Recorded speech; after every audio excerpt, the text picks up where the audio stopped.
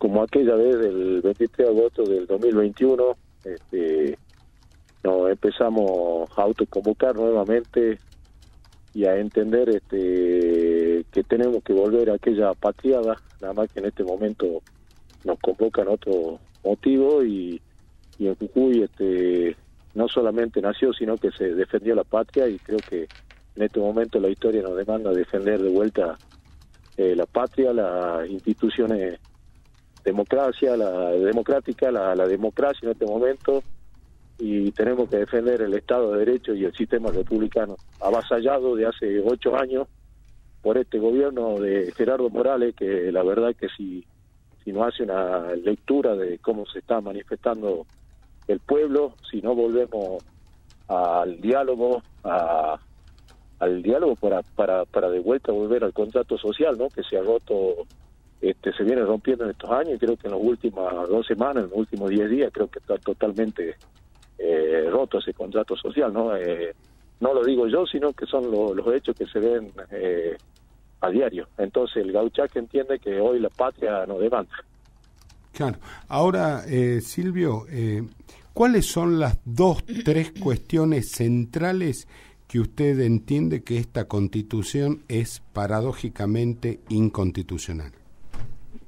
Y bueno, el primer punto, eh, eh, acá, digámoslo, eh, es increíble, es increíble que en los tres órganos que hacen un solo poder, los tres órganos, el ejecutivo,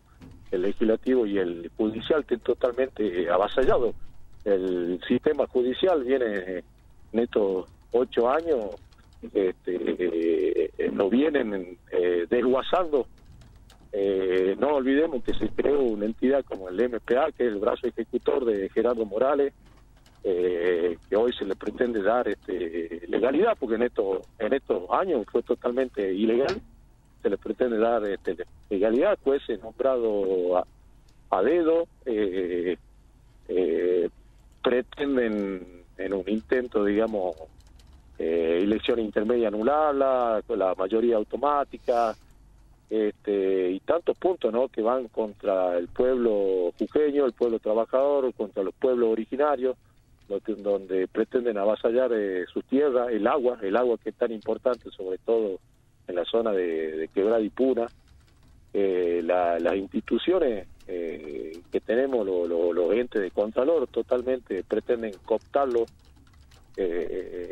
a través del gobierno de turno, cosas que realmente no se puede permitir. El pueblo jujeño ha entendido que hay que decirle basta,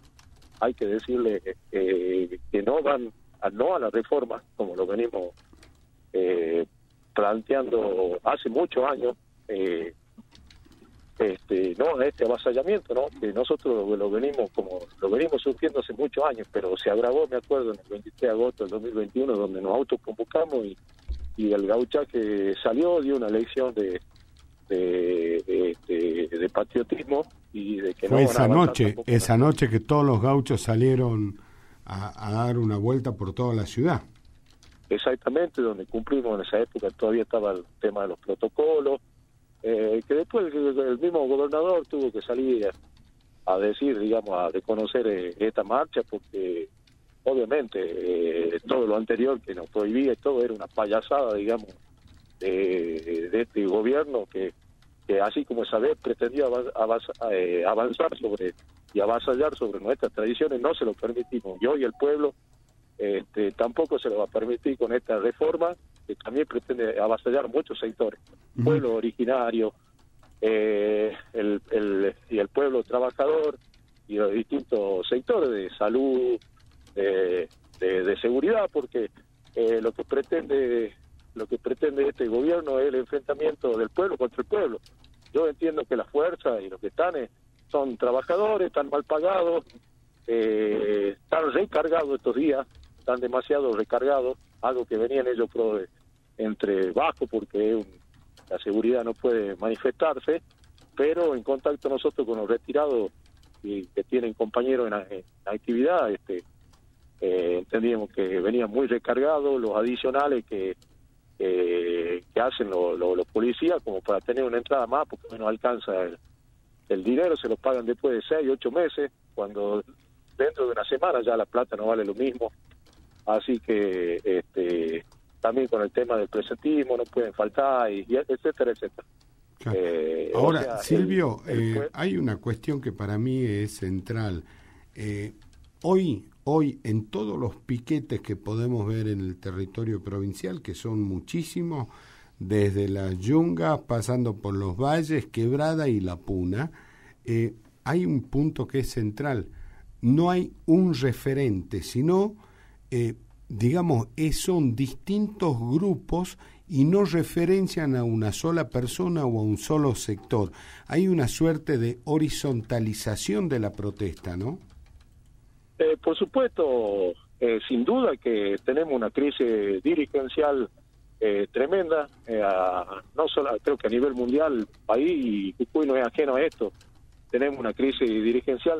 creo que está pasando a nivel político, en los sindicatos, en los centros vecinales,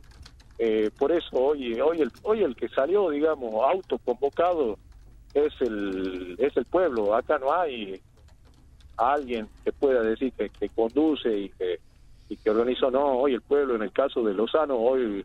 los vecinos a través de las redes eh, eh, tienen la necesidad de canalizar su, su, molestia su bronca. Este hoy el pueblo de Jujuy más allá que, que, que nunca le tuvimos miedo a este Gerardo, a Gerardo Morales, pero le ha perdido eh, el miedo porque siente que, que este está totalmente avasallando los pocos derechos que, que, ya nos quedan, ¿no? Porque a, lo largo de ocho años viene sucediendo esto. Pero ahora es como que el, pueblo se, se autoconvocó. Acá no hay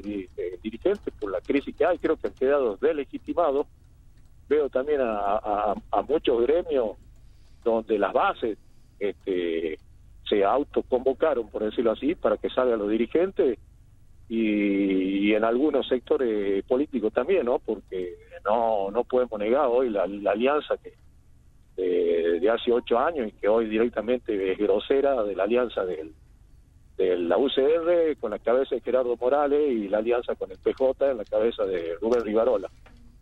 Este, así que hoy el pueblo se autoconvocó, más allá de colores